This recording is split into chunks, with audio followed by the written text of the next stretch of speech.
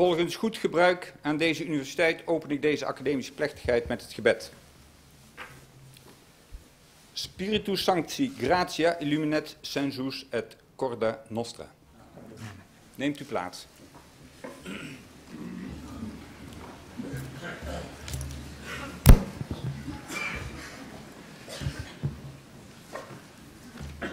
Dames en heren, ik weet u, heet u graag uh, van harte welkom bij de oratie van professor Dr. Maria van der Muizenberg. Mevrouw van der Muizenberg is per 1 augustus 2017 benoemd tot bijzonder hoogleraar gezondheidsverschillen en persoonsgerichte integrale eerste lijns zorg vanwege de stichting VAROS. Een hele mond vol, maar het zal naarmate de zitting vordert voor u allemaal duidelijk worden. Mijn naam is Paul Smits, ik ben decaan en vicevoorzitter van de Raad van Bestuur van het Radboud UMC. En ik heb vandaag de eer om de rector magnificus te vervangen en deze academische plechtigheid voor te zitten. Bijzonder welkom natuurlijk aan uh, de vader van uh, de professor en ook aan haar partner, de heer Nol Steenbergen, hun kinderen en hun kleinkinderen die er nog niet bij zijn, maar later aansluiten. En ik heb begrepen dat de oudste van die kleinkinderen de naam Dean draagt. En dat is natuurlijk een hele eer voor mij als Dean of de Faculty of Medicine. ik heet natuurlijk ook. Uh, um, even kijken hoor. Um, ja, als uh, welkome gasten hier vanmiddag kent u natuurlijk mevrouw van der Muizenberg allemaal al goed ik wil toch graag nog iets meer zeggen over uh, haar voorgeschiedenis. Ik spreek nog enige wo woorden uit ter introductie en dan mag ze natuurlijk zelf beginnen aan deze mooie middag. Uh, ze behaalde, begin meteen al met een groot succes, cum laude haar artsdiploma aan de Universiteit Leiden. Uh, ze promoveerde al daar uh, in 2001 op onderzoek naar palliatieve zorg. Sinds 1984 werkt ze als huisarts, aanvankelijk in Leiden, vanaf 1996 tot op heden in Nijmegen en sinds 2007 als senior onderzoeker en adviseur verbonden aan VAROS. En VAROS is het landelijk expertisecentrum gezondheidsverschillen. Vanuit het uitgangspunt gezondheid en kwaliteit van zorg voor iedereen zet VAROS alle kennis en kunde in om vermijdbare grote gezondheidsverschillen de wereld uit te helpen. En daar krijgen we straks natuurlijk nog veel meer van te horen. Ik maak ook graag van de gelegenheid gebruik om de eerdere directeur van VAROS, Monika van Berken, en haar opvolgster uh, Patricia Heiderijk van harte welkom te heten bij deze juist ook voor hen uh, prachtige dag. Professor van der Muizenberg is heel initiatiefrijk. Ze richten de praktijk buitenzorg op, waar dak- en thuislozen en migranten terecht kunnen voor sociaal-medische hulp. Ze werkte mee aan initiatieven als Stichting Wereld Vrouwenhuis, het netwerkoverleg Vluchting Nijmegen en de Voedselbank Nijmegen. In 2006 ontving ze voor deze en vele andere inspanningen de Corrie Hermanprijs van de Vereniging voor Nederlandse Vrouwelijke Artsen. Deze bijzondere leerstoel, die vandaag aan de orde is, is ingebed binnen onze uh, afdeling Eerste Lijns Geneeskunde van het Radboud UMC. Deze afdeling heeft een sterk profiel, juist op dit gebied, op het gebied van persoonsgerichte zorg, en is daarom zo'n ideale thuisbasis voor deze positie. Het lijkt me hoog tijd om er meer over te horen. Ik geef professor van der Muizenberg het woord. De titel luidt Verschil moet er zijn. Aan u het woord. Dank u wel. Meneer de rector magnificus, geachte aanwezigen, dearest friends and colleagues from the USA, Ireland, Greece, Germany, I'm ever so pleased you are here. I'm sorry I will continue in Dutch, however. Verschil moet er zijn. Zo noem ik mijn reden over gezondheidsverschillen. Moeten deze verschillen er dan zijn? Is het rechtvaardig dat de laagst opgeleide mensen in Nederland 18 jaar korter in goede gezondheid leven dan de hoogst opgeleide mensen? Nee. Is het acceptabel dat vluchtelingen in Nederland vaker suikerziekte krijgen dan andere leeftijdsgenoten? En dat deze kans vooral groot is wanneer zij geen baan kunnen vinden? Nee. Zijn sociaal-economische en etnische gezondheidsverschillen onvermijdelijk? Driewerf nee. Lage opleiding, armoede, eenzaamheid, discriminatie en sociale uitsluiting, slechte woon- en werkomstandigheden leiden tot ernstige gezondheidsachterstanden. Dat is niet acceptabel en het is niet nodig. Wij, u allen, met welke achtergrond dan ook, wij, de maatschappij, kunnen en moeten daar iets aan doen. Huisartsen, fysiotherapeuten, apothekers, verpleegkundigen, verloskundigen en andere werkers in de zogenaamde eerste lijns gezondheidszorg verkeren in de bevoorrechte positie dat zij hier elke dag iets aan kunnen doen. Daarvoor moeten wij wel verschil durven maken. Elke mens is anders en heeft dus net iets anders nodig dan standaard. Verschil maken moet om vermijdbare achterstanden in gezondheid te verminderen. Alle mensen zijn uniek geschapen, door geboorte gelijk. Elk ander is gelijkwaardig aan onszelf. Geschiedenis en heden van de mensheid laten echter anders zien. Er bestaat feitelijke ongelijkheid in allerhand opzicht. Wanneer wij die ongelijkheid tegenkomen in onze omgeving, in ons beroep, moeten we aandacht hiervoor hebben op basis van onze principiële overtuiging. Moeten wij de ander onze aandacht geven, er attent op zijn hoe deze ander anders is en wat nodig is om gelijkwaardigheid te realiseren. Dit is wat ik met u vanmiddag wil bespreken. Wat zijn gezondheidsverschillen? Waardoor worden ze veroorzaakt? En vooral, wat kunnen we eraan doen? En waarom moeten we dat? En waarom moeten we dat nu doen? Daarover gaat dit verhaal.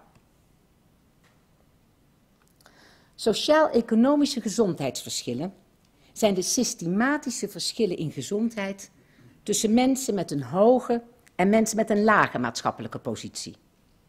En die positie wordt in sterke mate bepaald door opleiding, inkomen en een eventuele migratieachtergrond. Wereldwijd geldt, hoe lager op de sociale ladder, hoe hoger het risico op chronische ziektes en op vroegtijdige sterfte. Door hart- en vaatziekten, suikerziekte, maar bijvoorbeeld ook door kanker of door ongelukken. En ook in Nederland zien we deze verschillen. Mensen met alleen basisonderwijs in Nederland hadden in 2016 vier keer vaker suikerziekte en vier keer vaker chronische longziektes dan mensen met een HBO of universitaire opleiding. Bij migranten komt suikerziekte zelfs twee tot vier maal vaker voor dan onder andere met dezelfde opleiding. Dus dat is nog eens extra vaak. Verschillen betreffen niet alleen lichamelijke aandoeningen, maar ook psychische en sociale problemen. Eenzaamheid komt drie keer zo vaak voor onder laag opgeleide mensen. Migranten krijgen vaker en op jongere leeftijd dementie. En in het algemeen hebben niet-westerse migranten in Nederland een slechtere gezondheid dan anderen met dezelfde opleiding. En vaak ook slechter dan de inwoners van hun land van herkomst. Een lage maatschappelijke positie wordt gekenmerkt door de combinatie van ongunstige factoren. Soms zijn deze omstandigheden rechtstreeks slecht voor de gezondheid, zoals luchtvervuiling, bij mensen die in een wijk wonen met veel fijnstof bijvoorbeeld, of gevaarlijk werk, of als mensen onvoldoende geld hebben om eten te kopen. Vaker evenwel zijn dergelijke omstandigheden slecht voor de gezondheid omdat ze chronische stress veroorzaken. Dat zien we bijvoorbeeld bij armoede en schulden, maar ook bij kindermishandeling of andere vormen van geweld, bij eenzaamheid en bij sociale uitsluiting. Dat laatste, discriminatie dus, speelt een belangrijke rol bij de slechte gezondheid van mensen met een migratieachtergrond. Chronische stress gaat gepaard met ook een lage zelfwaardering. Niks lukt. Niks lukt die mensen, waardoor ze het gevoel hebben dat ze ook geen vat hebben op hun leven. Hoe leidt chronische stress nu tot ziektes? Op acute stress, zoals een infectie of een dreigende situatie, reageren onze hersenen door ons lichaam in staat van paraatheid te brengen. Er komen hormonen en afweerstoffen vrij, waardoor we ons kunnen verdedigen tegen indringers als ziektekiemen of feitelijk kunnen verdedigen of kunnen vluchten. Dit proces van aanpassing heet allostasis. Als er sprake is van chronische stress, dan raakt dit zogenaamde allostatische systeem overbelast. Nu ziet u op het plaatje allerlei vormen van stress van buitenaf of stress van binnenaf. En allemaal leiden er toe dat dus die allostatische belasting groter wordt. En dat uh, leidt tot een teveel aan bepaalde stoffen in het lichaam, onder andere cortisol, die schade veroorzaken aan bloedvaten en aan andere organen. En kans op hart- en vaatziektes, suikerziekte, maar ook bijvoorbeeld depressie vergroten. En daar komt dus nog bij dat veel mensen in deze omstandigheden weinig zelfwaardering hebben. En deze psychische gesteldheid blijkt op zichzelf ook alweer die allostatische belasting en dus die kans op chronische ziektes te verhogen. Bovendien maken chronische stress en gebrek aan zelfvertrouwen het moeilijk om een ongezonde leefstijl te veranderen. En terwijl tegelijkertijd weer ook bekend is dat roken, slechte voeding, weinig bewegen in zichzelf juist ook weer die allostatische belasting verergeren. En zo komen dus veel mensen in een neerwaartse spiraal met een grotere kans op ziekte. Door die ziekte kunnen ze dan vaak weer niet werken, verdienen ze nog minder geld en neemt de stress nog verder toe. Onze gezondheidszorg speelt onvoldoende in op deze combinatie van factoren. De zorg sluit vaak niet aan bij wat mensen met gezondheidsachterstanden nodig hebben. Adviezen zijn nogal eens niet te begrijpen of onuitvoerbaar in het dagelijks leven. En er is onvoldoende aandacht voor de psychosociale oorzaak van ziektes. Ook de organisatie van onze gezondheidszorg is te ingewikkeld. En informatie over gezondheid voor veel mensen onbereikbaar, onbegrijpelijk of ontoepasbaar. Dit raakt 29% van de Nederlandse bevolking vaak. Dat zijn de mensen die altijd of soms beperkte gezondheidsvaardigheden hebben. En het is altijd het geval bij mensen die moeite hebben met leren, met lezen en schrijven. En die groep is ook 18% van onze bevolking. Dus het gaat om veel mensen. En deze mensen hebben hierdoor minder goede toegang tot de gezondheidszorg. En die toegang wordt dan bovendien nog verder beperkt door financiële drempels, zoals het eigen risico en eigen bijdrage. Bovendien zijn de resultaten van de geleverde zorg bij hen minder goed. Zij krijgen bijvoorbeeld eerder complicaties bij hart- en vaatziektes en bij suikerziekte. Kanker wordt bij hen later ontdekt en als het ontdekt wordt, krijgen zij minder vaak de nieuwste behandelmethodes. Meestal is bij mensen met gezondheidsachterstanden sprake van een combinatie van ziektes. Deze ziektes versterken elkaar en worden verergerd door de slechte maatschappelijke omstandigheden, zoals we daarnet zagen, door die allostatische belasting. Zo komen depressie en suikerziekte heel vaak tegelijk voor en we weten dat beide ziektes ook weer die allostatische belasting versterken en dus elkaar versterken. En ze komen vooral voor onder bevolkingsgroepen die leven in armoede of chronische stress. Luchtvervuiling kan astma veroorzaken. En het blijkt dat dit vaker gebeurt bij kinderen die mishandeld worden. Dus ook daar zie je dat die sociale omstandigheid de ziekte, de uitdrukking van die ziekte, groter en ernstiger maakt. Voor dit soort ziektes, die in relatie met sociale en economische achterstelling zozeer met elkaar samenhangen, hebben Amerikaanse antropologen een nieuw woord bedacht. Syndemieën, samenhangende epidemieën. Het woord vestigt de aandacht erop dat je deze syndemische ziektes ook in samenhang moet bestrijden. Suikerziekte en overgewicht nemen niet af wanneer je deze als op zichzelf staande aandoeningen beschouwt en niet kijkt naar de onderliggende oorzaken. Pillen geven en blijven zeggen dat iemand moet afvallen, genezen niet de patiënt voor wie schulden een bron van chronische stress vormen. Het moet dus anders. Bestrijding van syndemische ziektes vraagt om een andere aanpak dan artsen, onderzoekers en publieke gezondheidszorg nu gewend zijn. Zij moeten zich niet op één ziekte richten, maar op de combinatie van ziektes. En ze moeten aandacht besteden aan de sociale problemen die deze ziektes veroorzaken of verergeren. En dat helpt. Gelukkig weten we dat gunstige sociale omstandigheden beschermen tegen ziekte. Waar armoede en sociale uitsluiting ziek maken, verbetert het hebben van werk de gezondheid. Waar eenzaamheid en moeite met lezen en schrijven de kans op depressies vergroten, weten we dat depressies genezen wanneer mensen leren lezen en schrijven. Ik geef u nog een voorbeeld hoe gunstige sociale omstandigheden beschermend werken. Vluchtelingen die al lang in Nederland zijn, ontwikkelen vaker dan andere bevolkingsgroepen psychische problemen, overgewicht en suikerziekte.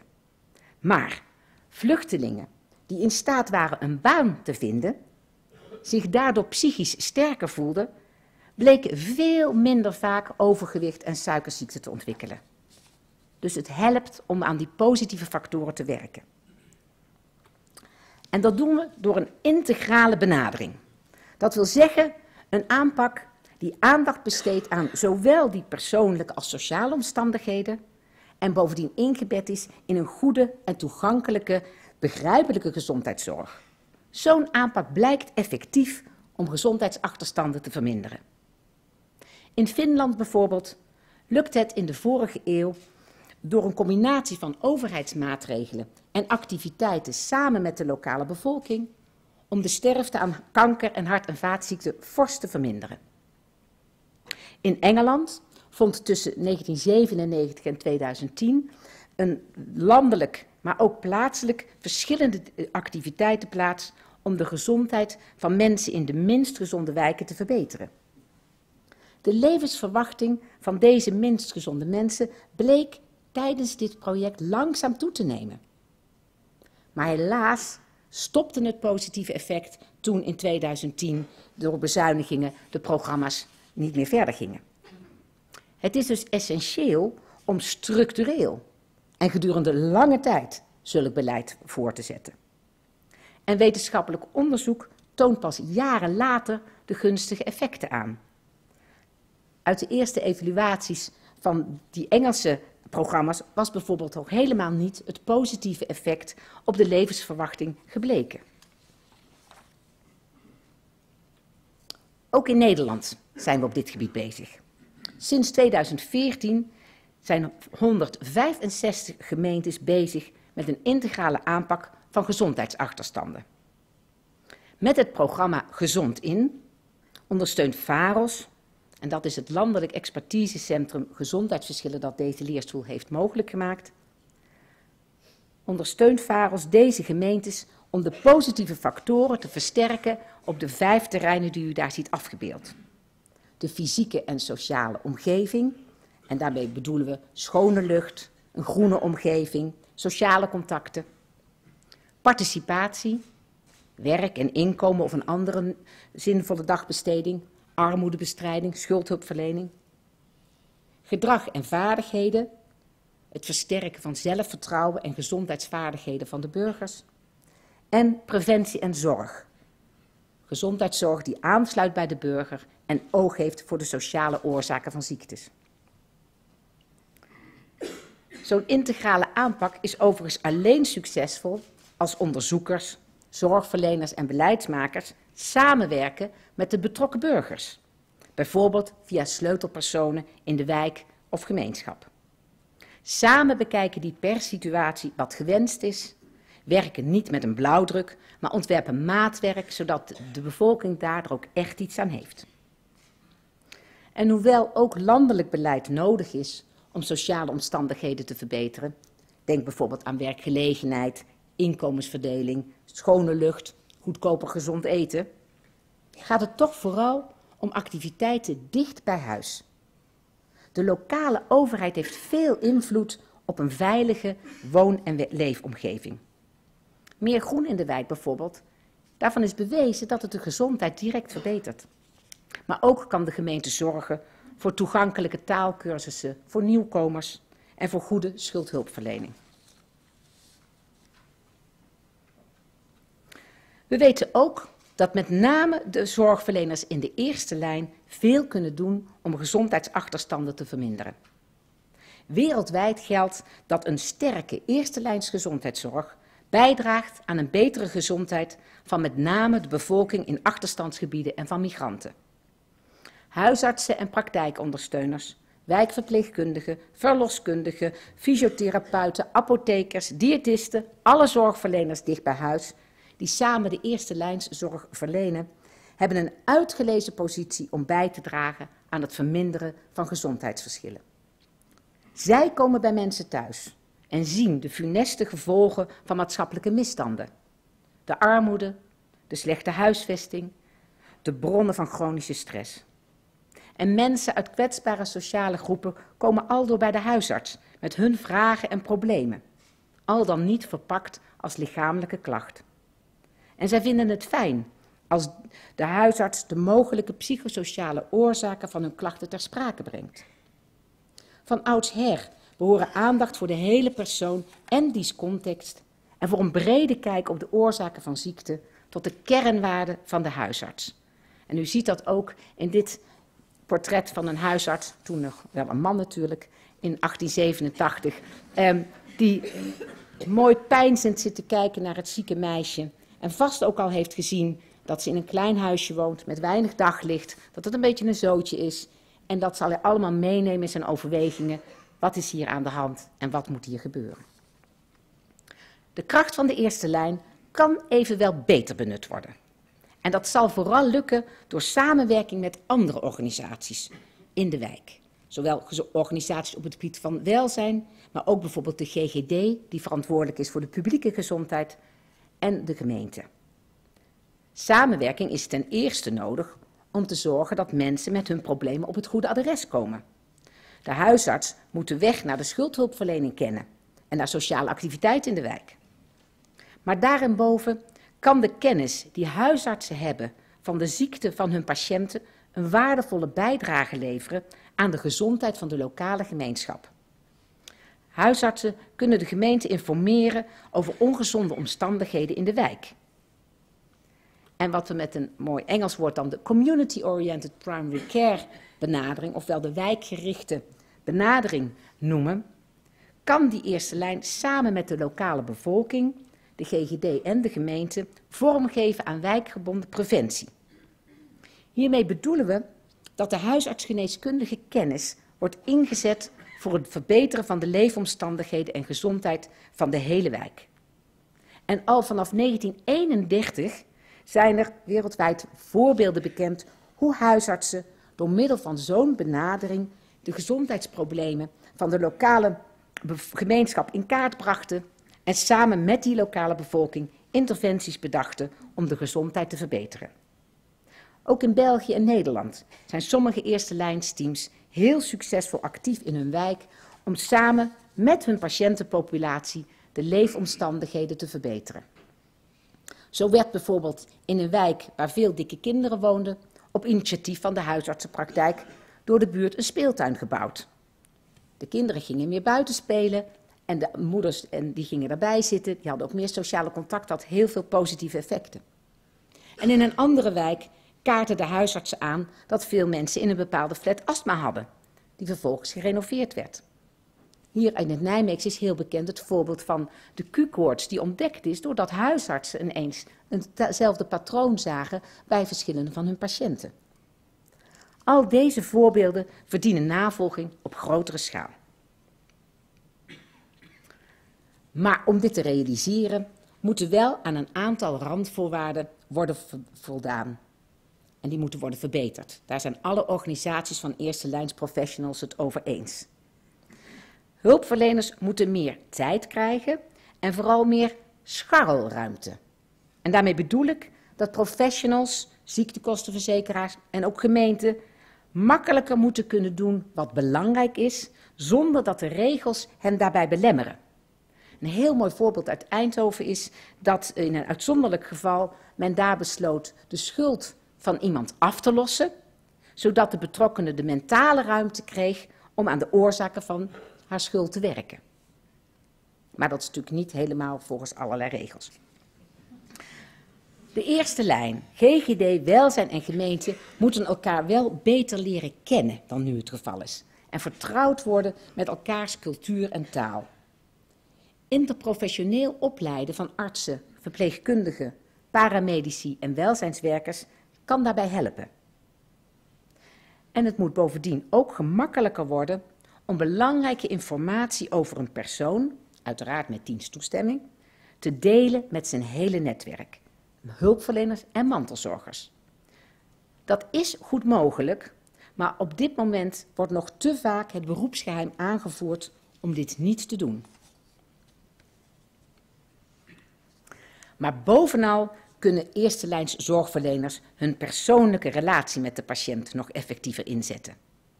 Want persoonsgerichte zorg heeft een directer genezend effect dan u wellicht denkt.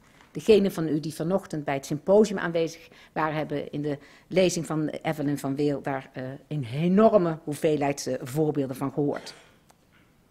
Te vaak hebben patiënten nu het gevoel dat zij gereduceerd worden tot meetbare eenheden van gewicht, bloedsuiker en bloeddrukwaarde. De Ethiopische vluchteling, thans hoogleraar in Stanford, Adam Vergeese, heeft dit zo mooi verwoord. Mensen zeggen over een arts: hij luistert nooit naar mij, raakt me niet aan. Dat is een gebrek aan erkenning van hun zijn en een gebrek aan het gebruik maken van onze persoon als zorgverlener. Dat moeten we meer doen. Zorg die de persoon centraal zet, niet de medische toestand van iemand, noemen we persoonsgericht. Dit betekent aandacht voor het dagelijks leven, de sociale omstandigheden en emoties, waarden en behoeftes van de patiënt. Persoonsgerichtheid vraagt om empathie, om erkenning en acceptatie van de persoon, hoe anders deze ook is dan de hulpverlener zelf. Empathische, persoonsgerichte zorg leidt niet alleen tot meer tevredenheid van de patiënt en van de arts, maar heeft een directe gunstige invloed op de gezondheid. En al helemaal bij patiënten in achterstandssituaties met complexe problematiek. Angst, pijn, depressie verminderen door persoonsgerichte zorg terwijl de suikerwaarde bij patiënten met suikerziekte en de longfunctie bij patiënten met een chronische longziekte erdoor verbeteren. Het is gemakkelijker je in te leven in de gevoelens van de ander wanneer de afstand tussen jouzelf en die ander kleiner is. Dat gaat artsen dan ook gemakkelijker af bij hoog dan bij laag opgeleide patiënten. Maar juist bij zulke patiënten is het heilzaam hun het positieve gevoel te geven dat ze gekend en begrepen worden. Dit positieve gevoel van jezelf, ook wel coherence genoemd, houdt in dat je snapt wat er gebeurt in het leven. Dat je voelt dat je leven ertoe doet en dat je in zekere mate er controle over hebt. Dit gevoel kan met psychologische technieken getraind worden. En het blijkt dat dat ook weer helpt dat dat leidt tot een betere gezondheid, ook bij mensen met lage opleiding of inkomen. Een empathische, persoonsgerichte zorg versterkt dit positieve zelfgevoel. Net zoals het actief betrokken worden in beslissingen over je eigen zorg. Vaak wordt gedacht dat laagopgeleide mensen zouden willen dat hun arts beslist over hun zorg en niet zijzelf. Dat is onjuist. Bijna alle mensen willen meebeslissen over zoiets belangrijks als hun gezondheid en de behandeling van hun ziektes, zo blijkt. Zij zijn immers zelf de expert van hun lijf en leven. Maar dan moet de arts natuurlijk wel op begrijpelijke wijze uitleggen welke mogelijkheden er zijn. Wat de consequenties van de verschillende mogelijkheden zijn voor hun dagelijks leven. Dit vraagt om de vaardigheid om begrijpelijk te kunnen communiceren en te checken wat de patiënt heeft begrepen. Hierin schieten nog veel hulpverleners tekort. Maar gelukkig is er in opleiding en nascholing steeds meer aandacht voor training in begrijpelijk communiceren. Persoonsgerichte zorg vraagt nog meer van hulpverleners. Om zorg op maat te leveren, moet je durven afwijken van richtlijnen en protocollen. Terwijl de laatste jaren juist veel nadruk is komen te liggen op protocolair handelen. Natuurlijk is het in het algemeen goed dat richtlijnen en protocollen een kader bieden. En het is super makkelijk om te weten welk medicijn je moet geven, dat je dat niet zelf hoeft te bedenken. Maar hulpverleners moeten hiervan durven afwijken wanneer de betrokken patiënt niet binnen het kader past. Dit vraagt lef van artsen en van anderen, zeker omdat zij tegenwoordig vaak verantwoording moeten afleggen over hun handelen door het aanleveren van protocolair verzamelde, meetbare resultaten van hun zorg. Het systeem van verantwoording afleggen in de zorg moet daarom fundamenteel anders.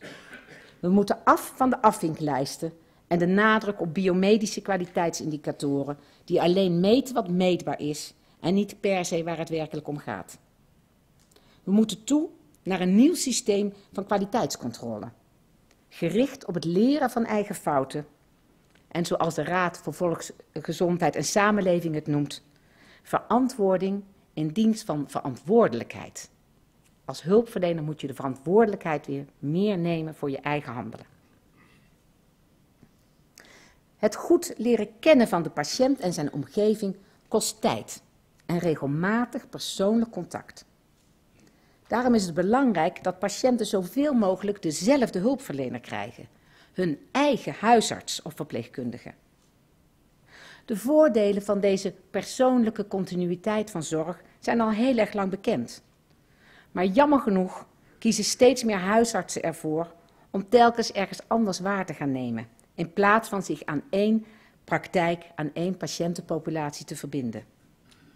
Dikwijls gebeurt het om praktische redenen, bijvoorbeeld omdat men het vak tijdrovend vindt. Maar het is erg jammer.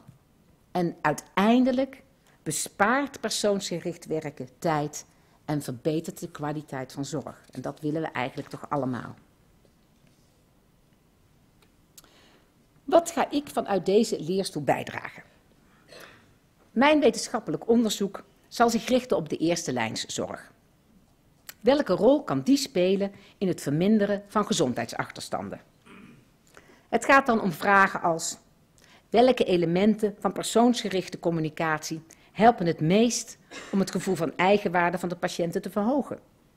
Wat helpt om chronische stress te verminderen? En hoe kunnen drukbezette professionals dit in praktijk brengen? Hoe kunnen de noodzakelijke randvoorwaarden gerealiseerd worden? En hoe kunnen eerste lijnsteams samenwerken met de inwoners van hun wijk, de GGD en gemeente om de leefomstandigheden in de wijk te verbeteren? Dit gaan we op de volgende manier onderzoeken. Samen met gezondheidscentra in verschillende steden gaan we telkens een bepaald aspect van persoonsgericht integraal werken uittesten. Bijvoorbeeld de samenwerking tussen huisartspraktijken en schuldhulpverlening. Of de inzet van een praktijkondersteuner om mensen met complexe sociale problemen te begeleiden. Of het aanbieden van interventies om stress te verminderen en zelfvertrouwen te vergroten. Steeds zal ik, met mijn collega's natuurlijk van de afdeling Eerste Lijnsgeneeskunde hier van het Radboud UMC en bij VAROS, dit samen doen met alle betrokkenen. De betrokken hulpverleners, burgers, GGD en welzijnsorganisaties. Met hen bekijken we wat in hun situatie nodig en mogelijk is. Want voor onderzoek geldt hetzelfde als voor de eerder genoemde integrale aanpak. Wanneer vanaf het begin af aan alle betrokkenen meedenken en meedoen, is de kans het grootste dat de nieuwe werkwijze blijvend gebruikt gaat worden. We zullen hierbij ook gebruik maken van allerlei de, uh, theorieën uit andere disciplines. Bijvoorbeeld met de sociale uh, theorie MPT, de Normalization Process Theory, die heel goed helpt om interventies ook werkelijk in de dagelijkse praktijk door te voeren. En om zo met alle betrokkenen onderzoek te doen, moet je participatorische onderzoeksmethoden toepassen. Vanochtend in het symposium is het ook al door vele mensen gezegd. Een hele mooie methode is de PLA, de Participatory Learning and Action um, methode. En ik I'm very pleased that the two founders of the theory are here present at today. Waarmee we in eerdere internationale onderzoeken over de zorg voor migranten succesvol hebben gewerkt. Deze methode maakt het mogelijk dat ook mensen die weinig kunnen lezen en schrijven, of migranten die een andere taal spreken, op gelijkwaardige wijze mee kunnen doen in onderzoek. En zoals u op dit plaatje ziet, dit was een eh, PLA-sessie, zoals dat heet, op Lesbos, waar vluchtelingen vertelden over hun gezondheid. Ze hadden allemaal verschillende talen en we werkten dus met plaatjes en met allerlei andere manieren om duidelijk te maken waar het om ging. In mijn onderzoek zal ik aandacht blijven besteden aan de sociaal meest kwetsbare groepen, zoals daklozen en migranten zonder verblijfsvergunning. Graag zet ik ook mijn internationale samenwerking voort met verwante wetenschappers binnen en buiten Europa, met de WONCA, de Wereldorganisatie van Huisartsen, en met EACH, de internationale organisatie op het gebied van communicatie in de gezondheidszorg. In wetenschappelijk onderzoek worden momenteel vaak bewust mensen uitgesloten die meerdere ziektes tegelijk hebben. Dat noemen we comorbiditeit. Of die moeite hebben met de Nederlandse taal of met lezen en schrijven in het algemeen. U zult begrijpen dat dit verkeerd is. Als we te weten willen komen hoe we syndemische ziektes kunnen bestrijden, hoe we gezondheidsachterstanden kunnen verminderen, moeten we juist de mensen om wie het gaat in onderzoek betrekken. En vanuit mijn leerstoel wil ik dan ook bevorderen dat deze groepen, die de meeste gezondheidsproblemen hebben, aan wetenschappelijk onderzoek kunnen deelnemen. Dat vraagt om aanpassingen, onder andere van vragenlijsten en van de manier waarop je mensen om deelname vraagt. Voorwaar niet gemakkelijk, maar wel mogelijk en we gaan het doen. Ik ben benoemd tot hoogleraar. De universiteit is oorspronkelijk een plek voor studenten om te leren, het Corpus Studiosorum. U ziet hier een plaatje van Alette Jacobs, de eerste vrouwelijke arts in Nederland, te midden van haar collega-studenten. Het is een plek voor studenten van alle afkomsten en gezinten om te leren. En een belangrijke taak van de hoogleraar vind ik dan ook het geven van onderwijs. Dat lijkt vanzelfsprekend, maar zoals u pas nog hebt kunnen lezen in de krant, dreig je als professor vooral toch afgerekend te worden op stromen van publicaties en geld voor onderzoek. Een bedenkelijke ontwikkeling, waartegen gelukkig steeds meer verzet komt. Onder andere van de Vereniging van Nederlandse Universiteiten en de Koninklijke Nederlandse Academie voor Wetenschappen, die naast het aantal publicaties ook de kwaliteit en de maatschappelijke impact van wetenschappelijk onderzoek wil laten meetellen. Want naar mijn inzicht is het juist zo belangrijk om opvattingen, zoals ik hier vandaag met u deel, of andere opvattingen, juist ook door te geven aan studenten, aan een huisarts in opleiding. Ik hoop door mijn onderwijs bij te dragen aan het bewustzijn en de kennis van gezondheidsverschillen en aan het gevoel van verantwoordelijkheid van artsen en andere hulpverleners om hieraan iets te doen. Wij willen studenten en andere hulpverleners de vaardigheid leren om persoonsgericht, positief opbouwend en begrijpelijk te communiceren met patiënten. En gelukkig heb ik hier heel enthousiaste collega's met wie we dit onderwijs ontwikkelen en uitvoeren zoals het op dit moment binnen de minor over kwetsbare patiënten. Volgens mij zit de hele afdeling ELG in het andere zaaltje. Sorry jongens, maar fijn dat jullie er zijn.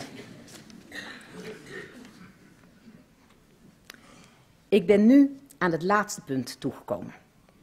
Ik heb gesproken over de verschillen in gezondheid, hun oorzaken en wat eraan te doen. Ik heb uiteengezet wat ik vanuit mijn leerstoel wil bijdragen. Een belangrijke vraag heb ik echter nog niet behandeld. Waarom zouden we eigenlijk daaraan iets willen doen? Mijn persoonlijke drijfveer is de overtuiging dat elk mens van waarde is. Dat wij allen samen de verantwoordelijkheid hebben voor een goede samenleving, waarin we elk ons steentje naar verbogen bijdragen. Dat we opkomen voor mensen die dat zelf niet kunnen, de armen, de zieke, de vreemdeling, de gevangene. en solidair zijn vanuit wederzijdse betrokkenheid en erkenning. Bereid zijn deel te nemen in het bestaan van de ander. Dat we ieder in zijn unieke anders zijn erkennen. Maar dat er meer is dat ons bindt dan onderscheidt. De ander met wie wij verbonden zijn, is immers ook de spiegel van onszelf. Volgens de filosoof Martin Buber worden wij zelfs in wezen bepaald door de relatie met de ander. Wij willen dus elk ander ontmoeten op onze reis door het leven. Zoals prachtig beschreven door de journalist Kapuscinski. We willen elkaar ontmoeten. Ik herken hierin de kernwaarden van de katholieke sociale leer, waarvan ik van jongs af aan ben doordrongen. En van het socialistisch ideaal dat mij sinds mijn studententijd heeft geïnspireerd. En dat in zijn uitwerking verregaand parallel bleek.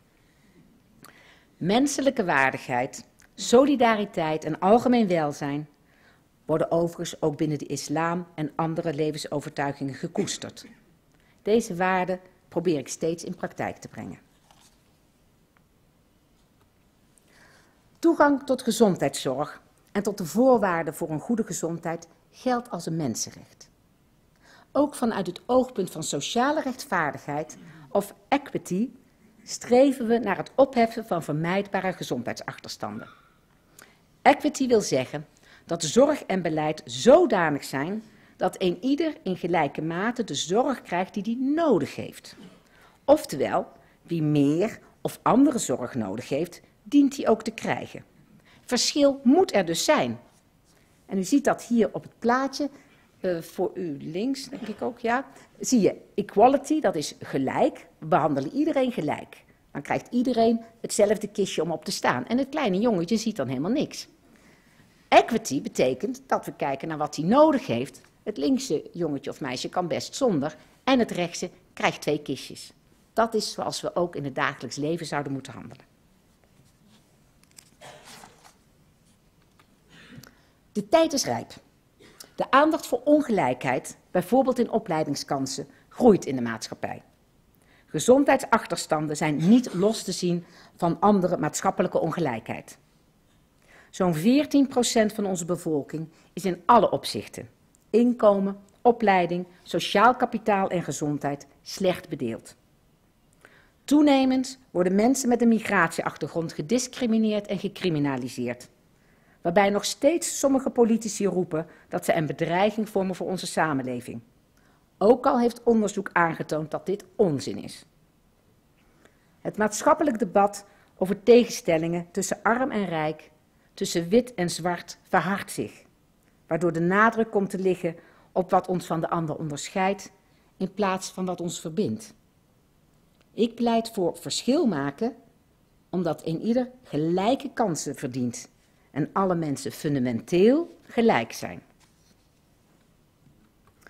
En gelukkig zijn er steeds meer mensen en instanties die zich hard maken voor een inclusieve samenleving, waarin plaats is voor iedereen en we oog en oor hebben voor de ander.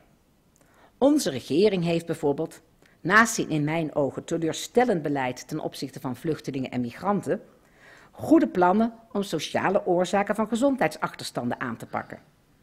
Zij erkent dat schulden vaak ontstaan door te ingewikkelde regels van de overheid zelf. Zo heeft minister Bruins een plan om de kans te verkleinen op schulden bij de ziektekostenverzekeraar, die onverzekerd zijn en hoge boetes tot gevolg hebben. Minister De Jonge heeft eveneens een ambitieus plan om eenzaamheid te bestrijden. De Gezondheidsraad pleit voor strengere normen voor fijnstof en stikstof in de lucht. En het ministerie voor Volksgezondheid, Welzijn en Sport noemt zijn beleidsagenda al zorg die verschil maakt en besteedt veel aandacht aan preventie. En zelfs de Belastingdienst wil nu zijn diensten niet alleen makkelijker, maar ook begrijpelijker maken. We zien bovendien hoopgevende maatschappelijke initiatieven waarin mensen uit verschillende sociale lagen contact met elkaar zoeken. Zoals in samenwoonprojecten. Of zoals de hartverwarmende overvloed aan vrijwilligers bijvoorbeeld hier in Nijmegen die vluchtelingen ondersteunen. Het pleidooi om verschil te maken geldt niet alleen de gezondheidszorg. Onze geseculariseerde samenleving lijkt overtuigd van de maakbaarheid van het bestaan. In die overtuiging kan elke misstand door de juiste wet of regel voorkomen worden. Veel sectoren dreigen zo dichtgetimmerd te worden met richtlijnen en protocollen die weer gecontroleerd moeten worden. Dit leidt tot een cultuur van wantrouwen jegens professionals en instanties en angst bij professionals om af te wijken van de richtlijn. Ik pleit voor vertrouwen in elkaar, ondanks ons alle feilbaarheid. Voor het lef om verantwoordelijkheid te nemen voor ons handelen en verantwoording af te leggen. Durf af te wijken van regels als die mensen schaden. In waardigheid zijn alle mensen gelijk. Laten we met elkaar verschil durven maken. Tot slot. Aandacht voor de ander, daar gaat het mij om. Zonder anderen brengen wij niets tot stand. Zonder de steun, aanmoediging en hulp van anderen zou ik hier niet staan. Woorden van dank schieten tekort. Namen noemen doet anderen tekort. En u wilt langzamerhand wel aan de borrel, denk ik.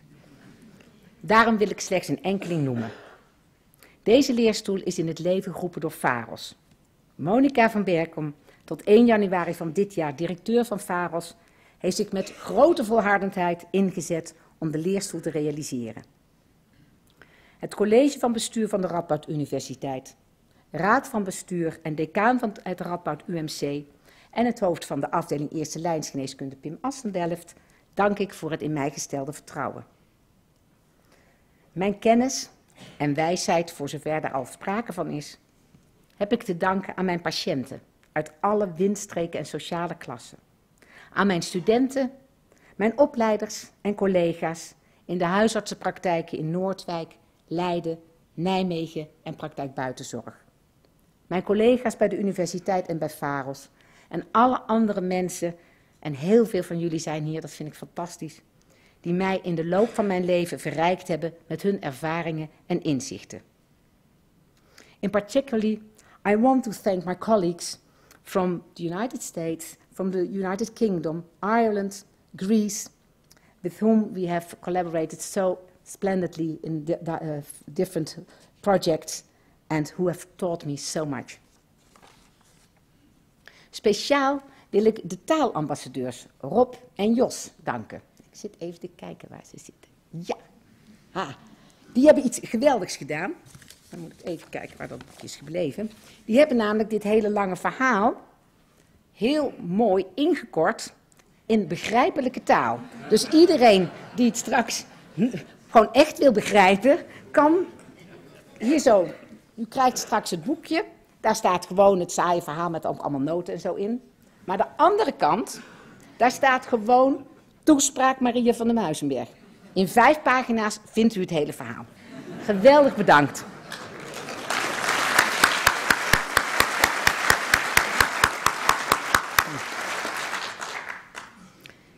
Ik heb gesproken over het belang van een positief zelfbeeld. Daaraan draagt sterk bij de wetenschap dat er mensen zijn die door dik en dun van je houden, ondanks je fouten en tekortkomingen. Ik ben vanaf mijn geboorte gezegend met zulke mensen om me heen. In mijn ouderlijk gezin, en ik vind het geweldig dat mijn 95-jarige vader hierbij is. Mijn familie, mijn eigen gezin, met mijn kinderen en kleinkinderen. In mijn vriendenkring en met mijn levensgezel. Major autum est caritas. De meeste van deze is de liefde. Ik heb gezegd.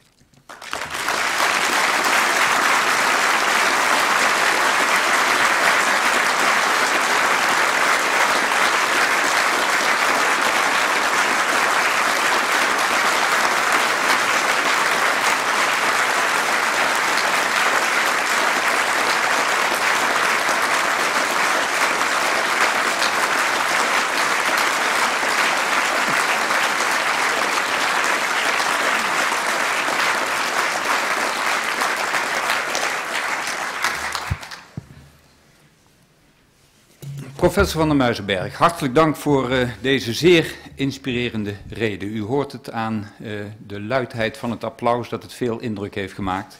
En ik weet zeker dat ze in de andere zalen nog gewoon aan het doorklappen zijn. ze hingen aan uw lippen. ja, het is natuurlijk ook prachtig dat dit verhaal zo één op één past bij de missie van ons Radboud UMC om toch het meest innovatieve en persoonsgerichte Radboud UMC te zijn. En u helpt daar echt mee. Die combinatie om het integraal aan te pakken, om het structureel aan te pakken, om het persoonsgericht aan te pakken, maakt het natuurlijk heel krachtig. En ook uh, de start om te vragen wat is nou eigenlijk rechtvaardig, appelleert zo mooi aan de wortels van onze universiteit. En dat doet ons natuurlijk allemaal heel erg goed. Niet alleen voor onze agenda van onze overheid, van ons Radboud UMC, maar internationaal. Dit is een agenda op wereldschaal. En wij willen impact on healthcare hebben en op deze manier uh, hebben we dat natuurlijk. Dus dat is fantastisch. De kracht voor de eerste lijn die doet ons ook heel, uh, heel erg goed. Het ging u ook heel makkelijk af, zo doserend. Uh, dat doet de studenten goed. Dus ik heb het gevoel dat de allostatische belasting voor uzelf heel goed te doen was. En die didactische vaardigheden, daar zullen wij ook eh, veel plezier van hebben. En dat is ook voor onze studenten, u hebt ze ook direct aangesproken, heel erg goed. U hebt ook een aantal uh, hele goede ideeën, waar we denk ik ook uh, in de breedte meer mee kunnen. Ik denk ook dat hoogleraren ook heel veel behoefte hebben aan meer scharrelruimte. Uh, dus dat zullen mijn buren het denk ik ook mee eens zijn. Maar ook wat u hebt gezegd over uh, kwaliteit van zorg en over de controle van de kwaliteit. Uh, dat speelt in de eerste lijn. U hebt dat denk ik heel goed uh, aangegeven. En ook waar het naartoe moet, hoe moeilijk dat ook is. Want ook binnen de muren van het Radboud UMC stoeien wij daar iedere dag mee. Aan de ene kant de controle die bijna moet om de veiligheid te garanderen. Aan de andere kant het vertrouwen wat we veel meer gunnen om tot de kern van de zaak te komen waar het echt om gaat. Niet de vinkjes, maar de vonken. Uh, ja, dat zou geweldig zijn als u daar uw kennis en inzet uh, ook uh, zo gebruikt dat wij daar ook binnen de medisch specialisten van het Radboud UMC ook een slag verder mee komen. Dat is heel, heel gewenst. Ik wil u van harte feliciteren met de aanvaarding van deze mooie positie. Ik wil ook de Radboud Universiteit en Radboud UMC zijn heel blij met de verbindenis van u aan onze centra. Um, uw vader en partner en ook de kinderen wil ik uh, van harte feliciteren met hun uh, knappe dochter, partner en uh, moeder. Ook de afdeling Eerste Lijns Geneeskunde complimenteren met de aanwinst van zo'n bijzonder getalenteerde hoogleraar. Ook VAROS natuurlijk, we hebben mooi samengewerkt denk ik in dit traject om naar deze dag toe te groeien. En we plukken er nu, maar ook de komende jaren heel veel vruchten van, daar ben ik van overtuigd. Goed, dames en heren, we zijn uh, gekomen aan het einde van deze academische plechtigheid. Dan heb ik altijd nog een paar huishoudelijke mededelingen. Uh, professor van der Muizenberg zal dadelijk recipiëren in de hal hier beneden. Uh, ga alsjeblieft niet in de rij staan straks, want we zijn met heel velen. Dit, is één zaal, maar er is nog een andere zaal uh, helemaal vol met uh, enthousiaste fans van professor van der Muizenberg. En die heeft wel gezegd dat uh, iedere mens telt. Dus ze zou ook iedereen wel een hand willen geven, maar dat gaat uh, niet lukken vandaag. Dus uh, vertrouw erop dat ze daar het beste mee voor heeft. Ga niet in de rij staan, maar plaats eventueel wat zeg maar boodschappen op receptieblaadjes die er liggen, zodat u ook op deze manier het contact heeft. Um, dan uh, verlaten wij dadelijk de zaal in cortège en een vriendelijk verzoek om de familie op de eerste rij en de uh, gasten op de eerste rij in de gelegenheid te stellen om daarbij aan te sluiten. Dan zou ik u willen verzoeken om te gaan staan, zodat wij uh, de academische zitting kunnen afsluiten met het gebed. Gratias tibi agimus, omnipotens Deus, pro omnibus beneficiis tuis, qui vivis et regnas per omnia secula seculorum.